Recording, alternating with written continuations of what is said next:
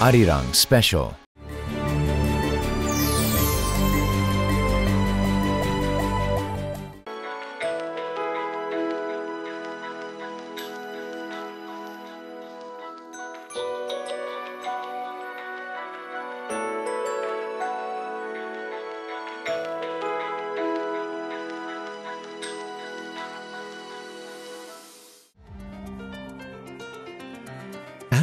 Agriculture is at the forefront and is the backbone of Kenya's economy. Two thirds of Kenyans depend on the crops they grow and the animals they keep for their livelihoods and survival. In 2005, agriculture, including forestry and fishing, accounted for about 24% of Kenya's gross domestic product (GDP), as well as for 18% of wage employment and 50% of revenue from exports. Tonight on The Entrepreneur, our focus is on agribusiness. Agribusiness is commercialized farming which uses advanced technology. We feature the unique stories of Miss Rosemary Odinga, a snail farmer, and Doris Masharia, an ornamental fish farmer.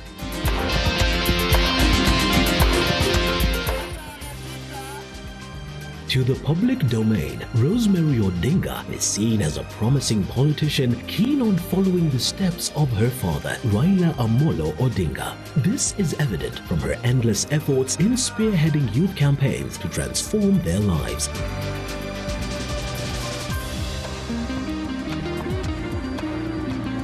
However, there is another side to this aspiring politician. Today, we meet her at Jaramogi Odinga Oginga Foundation along Kiambere Road in Nairobi, doing what she loves most.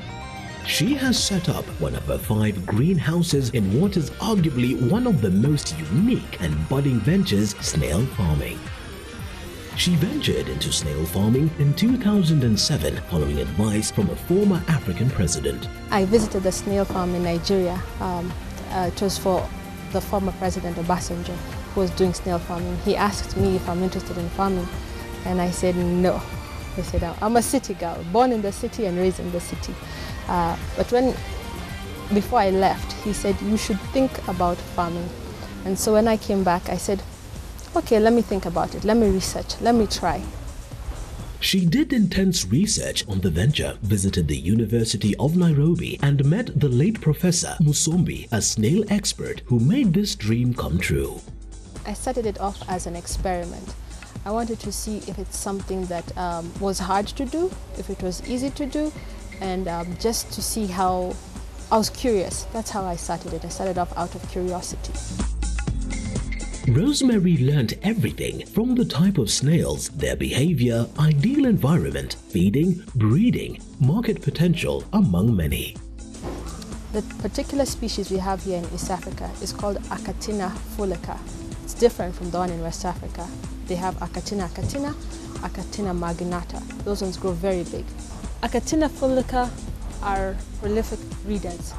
They lay between 200 to 500 eggs twice a year. That means one snail can lay uh, at the end of the year between 400 to 1,000 eggs. She started off with 13 giant African land snails. The beginning, though, was disheartening. And of all those 13 snails, only two survived. Yes, it was a bit disheartening, but we kept on. And then those two laid eggs. And when we saw the eggs, we were so excited. We were like, oh, we have eggs. And that is how the snail project just generated. And snails are hermaphrodites, which means they have both male and female organs. So either one of them can lay eggs for you. After correcting her mistakes and not losing hope, to date, the two remaining breeders have multiplied. She currently has more than 3,000 snails at various stages of their life. Snails are not big, they are very small. Anyone can handle them, even a small child can handle them. Then they also don't make noise. uh, they don't uh, have a nasty smell. Their care is very simple, but it makes, needs someone who's very patient and very observant. To ensure that snails blossom, there are certain aspects that a farmer must get right. One is temperature regulation, correct soil type that is treated and contains nutrients snails need. You have to treat the soil Uh, by treating, you know, you check for impurities, you check for other organisms that are inside the soil to be able to regulate the temperature. This greenhouse and this particular uh, lining that we used protects it from the sun because again if it's too hot they burn and they don't like to burn. And then also the trees in the area are very important because they provide a lot of oxygen and natural environment where we have um, open windows to the side. So when it's too hot we can open the windows and then there's better flow of, of air and it's nice and cool. When it's too cold in the evenings or in the month of June and July we close them down again and therefore we keep the temperatures here warm and um, we have a sprinkler system. When it gets too hot again we turn on the sprinkler system to make sure that the place is nice and humid. When rearing snails you have to be careful of the location that you are the type of housing that you use what you feed the snails. You have to be careful of, of the predators for example rats snakes to rear snails, one has to obtain a license from Kenya Wildlife Service because the creatures are categorized as wild. You have to be very careful about their security. For example, here we developed a system where you have a, this particular uh, polythene that you cover the snails and then that way they don't escape. Even the type of bucket we used was something that we had to figure out and then the depth of the soil that we, well, it has to be deep enough for them to be able to burrow inside. She also brought on board three farmhands to help with the extra workload. Now what we're spraying is just water. As a routine, she cleans them using water in spray bottles, then categorizes them in different containers. Each particular greenhouse, I have about uh, between two and three persons who manage the greenhouse and we usually do it in shifts, morning shift and evening shift, so that we make sure that the place is constantly kept very clean because snails can be very sensitive to the slightest change in temperature, slightest change in um, environment. The creatures feed on vitamins. Their diet comprises of kales, cabbages, and fruits like pawpaw. We have over 100 breeders, almost 200 breeders right now. And uh, sometimes we, depend on what we're looking for, either increase the breeders or we reduce the number of breeders. This greenhouse alone contains more than 1,000 basins, each with numerous snails in different stages. And after it lays eggs, you wait a little bit, a couple of days, and then you'll see little hatchlings coming out of the shell. And then uh, we observe those hatchlings. After a certain period, we will separate them. And after separation, we will, like you see, um, trying to find over here. This one, I think, is the reproduction organ. So this one is almost ready to, to, to reproduce. And then for us, we wait about four, four months, and after four months now, the hatched snails are ready and ready to go to market. It started off as a, as a as a hobby. But you see the way they have such prolific breeders. And um, because of that, we started having more snails than we could consume ourselves. So I started reaching out to people that I thought would be interested in it. I reached out to some people in the Nigerian embassy, the Ghanaian consulate, uh, talked to a few uh, Chinese restaurants, and um, also the French restaurant, and they were interested. So now they, from there, that's now how we learned how to do the deshelling process and how to package them and what size goes for what market. Different markets like different uh, sizes. Um, the West African market like them very, very big, and then the European market like them when they're about this size. So this takes about four months before it reaches that size and ready for eating. They are packed in 80 and 160 gram vacuum sealed bags containing 12 and 24 pieces respectively. So for us, we break our markets into uh, three different areas. There is the West African uh, market. These are people from Nigeria and from Ghana. Then we have the European market. Uh, these are some French people and Dutch. And then we have the Asian market, which are um, the Chinese uh, expatriates. But for most part, it's the expatriate market. that uh, take our, our snails in, individuals from the expatriate markets. They are stored in low temperature below 10 degrees, ready for the market. We are not able to meet the demand for uh, snail uh, consumption by the expatriate market in the country. So once you're able to, but there's potential for snail farming to have export because in West Africa they export their snails to um, France and to China. We have about five greenhouses but there is potential for them to even be much, much bigger. If you look at um, countries such as Australia and uh, France, snails are grown in acres and acres. And that is because they have the potential and that is because they have the ready market for the snail farming. Snail meat is tantalizing and super nutritious. It tastes like fried gizzard dipped in butter. When I first started snail farming, a lot of people thought that I was very crazy. And then they wondered, what are you doing with, with snails? And I kept to it and I said, you know what, I see a future in snail farming. I see it being something different. I see it being something that can be inspiring for other people, not only to try snail farming, but to try any other form of farming. I was thinking about food security. I was thinking about um, jobs. I was thinking about uh, things that are not so difficult to do, that anybody can do. And so the future of snail farming for me is very bright because I have seen this potential in the market and I've also seen a lot of curiosity, not just by um, foreigners, but also locals. I think that uh, anybody who has an idea, uh, stick to your idea, be true, be patient, and keep to your passion. And that's the only way we will be able to grow our country, Kenya.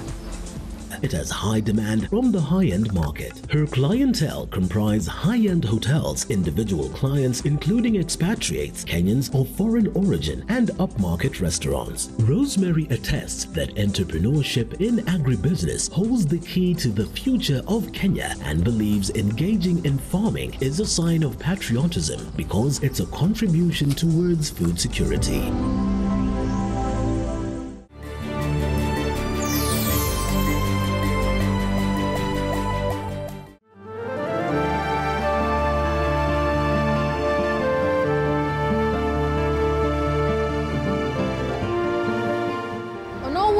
Week, we look at women who have made a difference in the society.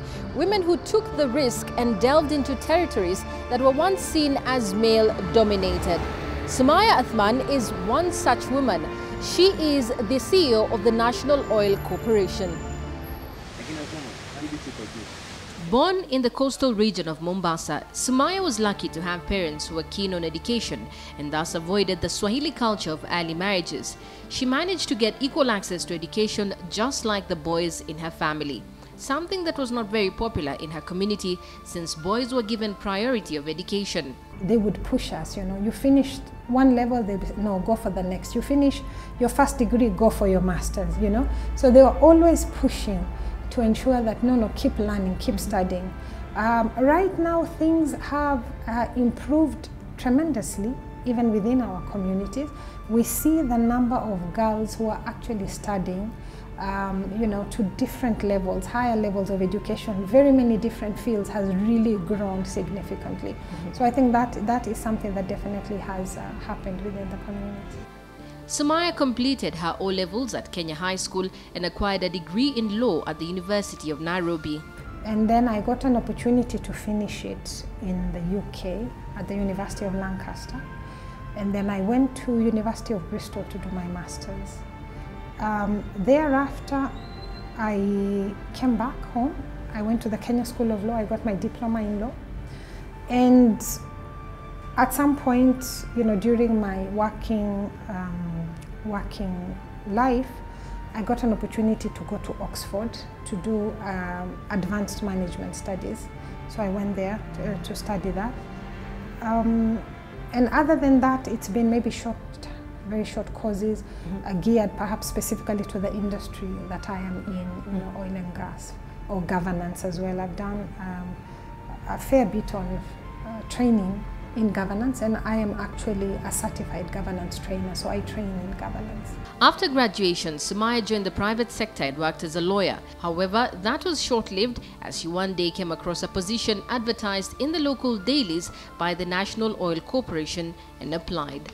They were looking for somebody to head their legal department. I'd never heard of National Oil Corporation before, but I said, okay, here is my chance to walk the talk and apply, which I did. They offered me the position. And then when I started the work, I realized I'm enjoying actually the business aspects of the work. And I um, started handling strategy as well. They then um, added corporate affairs to my docket. So I was doing legal strategy and corporate affairs. Eventually, the board appointed me as the deputy managing director. And um, at, the, at the expiry of the contract of the then MD, mm -hmm. I was appointed, I well, I wasn't appointed, I applied. It was a competitive process. Mm -hmm. So I applied for the position of the MD and that's how I I got the position. Being a woman delving in what was seen as a male-dominated industry was not easy. Sumaya encountered several challenges in her application to head the giant oil company. You know, people don't expect uh, a female and maybe a young woman young woman in hijab, you know, you can keep adding to the list to yes. apply for that type of a position. Mm -hmm. And so, um, you know, some people have preset ideas on how they want the process to go. Uh, and um, and uh, so it was it wasn't a straightforward process. Actually, you know, we did it several times before eventually, you know, the, the process was concluded. Mm -hmm. So I think for a woman, um, you know, your challenges start not even after you're in the door, but even trying to get through the door, you know, you're faced with, with all sorts of um, obstacles uh, being, uh, you know, thrown your way. Yes. She was determined to get the position and nothing could stop her. She eventually got it. But being a woman boss came with its own challenges as well. You know, when you're dealing with professionals, mm -hmm. they take you as a professional. Mm -hmm. So they'll give you an opportunity to prove yourself. Can yes. you do it? And once you're sure that you can, you know, they're happy to deal with you as a professional. They will give you the, the type of um, uh, space that they would give to another professional. But uh, unfortunately, you don't always deal with professionals. Yes. So you meet all sorts of people who are there for their own objectives. Mm -hmm. A lot of them are really there for their own personal objectives. you know, and I'm not talking about within the company only. I mean, these are people you'll meet with outside different stakeholders mm -hmm. who are only there for their own personal interest. And, you know, the minute they think, um, you know, you are there, you know, focused on doing your work, you know, they, they know they are not going to get through some of the things they want, then they put a lot of pressure. Whether it's direct pressure on you, whether it's political pressure, whether it's, you know, all sorts of funny pressures. Yes. Um, so you will deal with that. You'll deal with the fact that, um, that uh, you know, men do have a different style of working from women. Mm -hmm. So, and not everyone understands that. So whereas it is a strength, I think both genders have a lot to learn from each other yes. to help build, you know, a cohesive team. There are people who don't understand that. So in the current day and age, your workforce, Generation Y, Generation Z, millennials, the people coming in are very young. They are very mobile. They are very fast. So you have to be able to relate to that generation. If you can't do that, mm -hmm. you know, you'll not be able to, to bring, help bring the best out of your staff. Yes. You know, enable them to give you their discretionary effort. But there are people who don't understand that. Being a woman leader makes one more passionate about certain issues affecting women. Sexual harassment at the office is something that has cost many companies good employees. What we have done, for instance, within the organization is to have a very um, well-established policy and talk about it and you know so that people are aware this is not okay. And even in other forum where we do meet say at the ceo level there was a forum that we met we specifically highlighted this issue because sometimes people don't realize that it is a real issue that women do face. Mm -hmm. and i guess increasingly men face it as well. But unless people talk about it it's you know hushed and then it creates a very difficult uh, working environment. So I think having a very robust policy and having an open approach to it that listen, if you do have an issue, you know, talk about it is very important. Balancing family life and a career is a major concern for many women, and Sumaya is no different. One of the things that uh, I realized is that you need to prioritize. And prioritizing is not only in the workplace, it's also outside. So even with my family, for me, I don't delegate family. They have very high priority, which means if there are family occasions, if my children have functions in school, I want to be there myself. You know, it's not one of those things that I say, oh, I'm too busy to attend. To the extent possible, mm-hmm. I prioritize that because, you know, at the end of the day, your children grow up and they leave, and you lose such an important time. She has been at the National Oil since 2007 and is a member of the Association of International Petroleum Negotiators. She also sits on the National Fossil Fuel Advisory Committee and the National Fossil Fuels Training Subcommittee. My advice is uh, be very focused on your values. Be clear what those values are and be very, very focused on them. You'll meet a lot of people who want to challenge your values. They want to tell you, oh, are you the only one wanting to walk a straight line? Everybody else is doing A, B, C, D. They want to try and compromise you. You know, they want to just break rules and regulations and do all sorts of funny things and they want to pressurize you to join them so you being a value-based uh, person i think is extremely critical because at the end of the day you'll face all sorts of challenges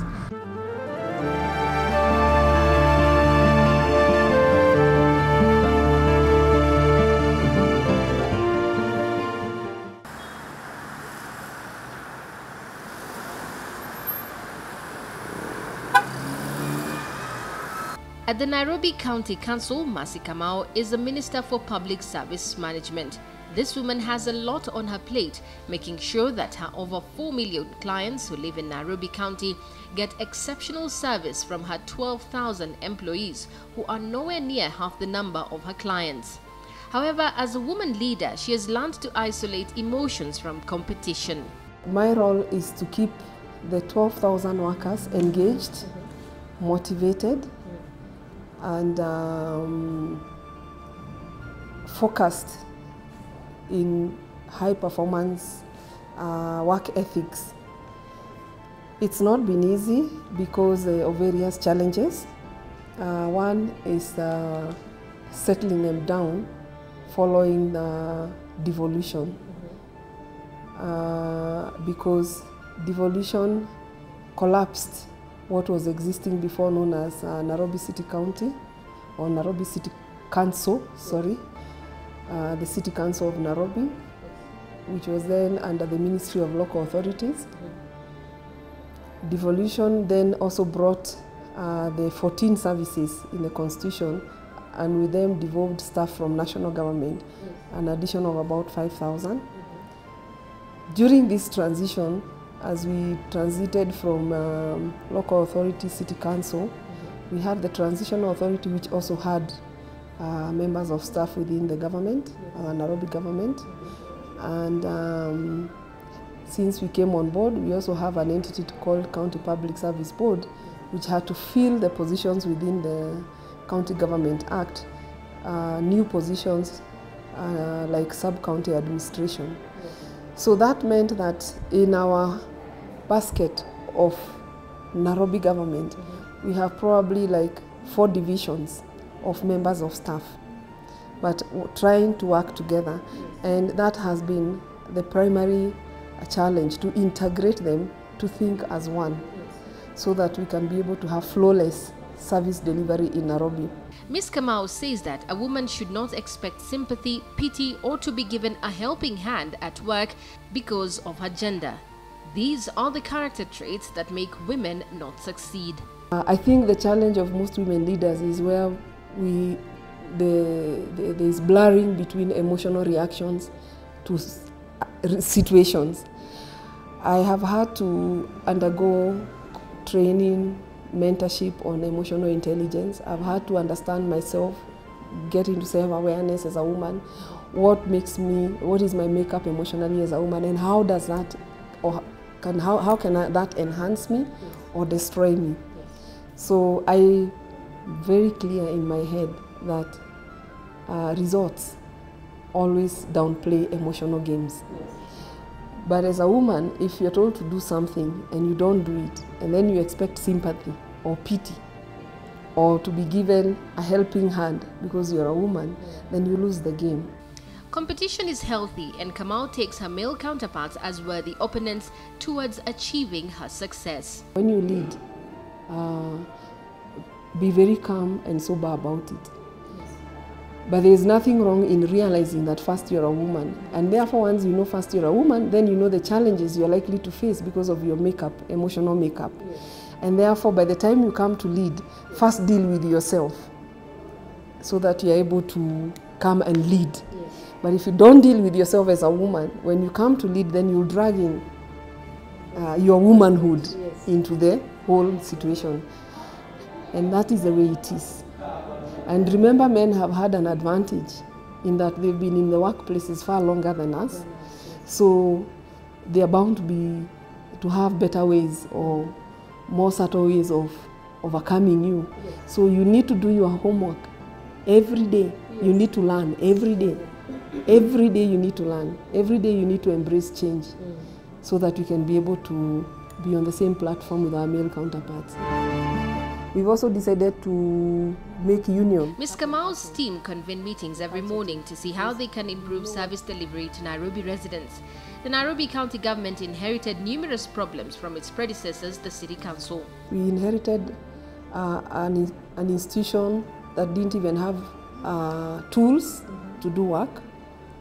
Uh, if, for instance, it is, if it is garbage collection, we found a situation where we didn't have enough garbage collection vehicles.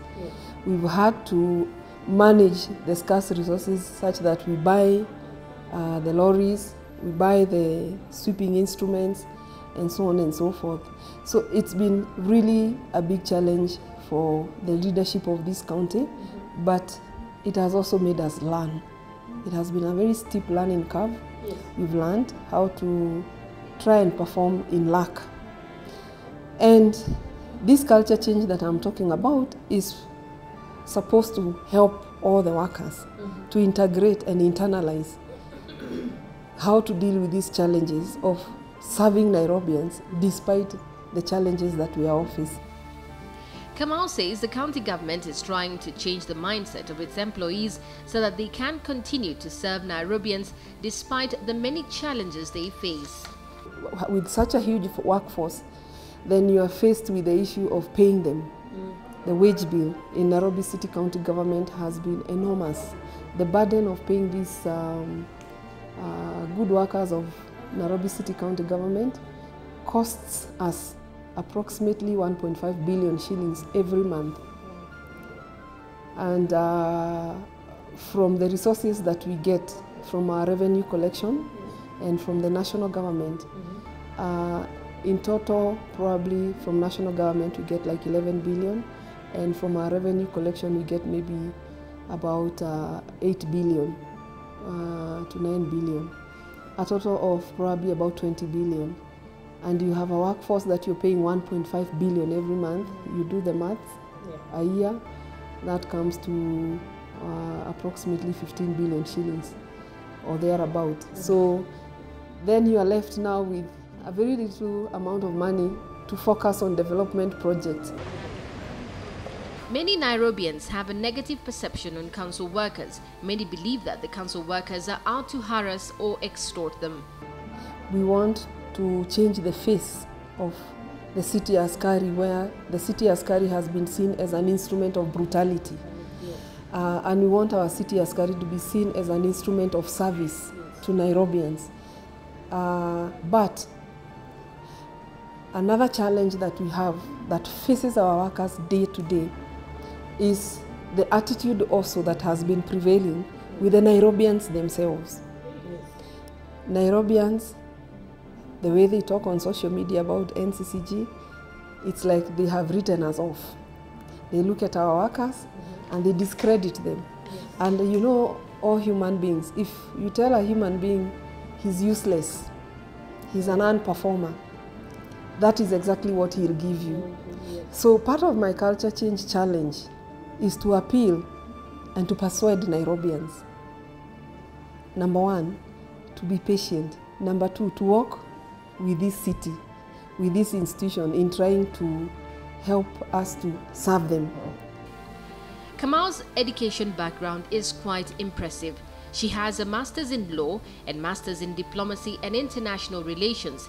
She is a trained lawyer and advocate of the High Court, and before joining the county government, she ran a Kagwe, Kamau, and Karanja law firm. She also worked in the banking industry. Kamau is currently pursuing a PhD in human resource management. Najma Ismail for All Woman.